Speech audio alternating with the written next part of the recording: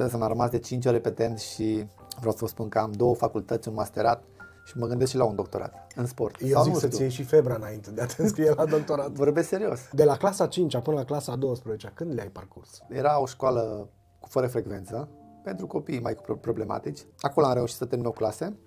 Face la 18 ani, am plecat, uh, primul an am făcut, l-am făcut la UCECOM și uh, după clasa 9 am renunțat la UCECOM. Era o școală hidro lângă noi și da. e o școală hidro acolo, a fost cel mai frumos an din viața mea.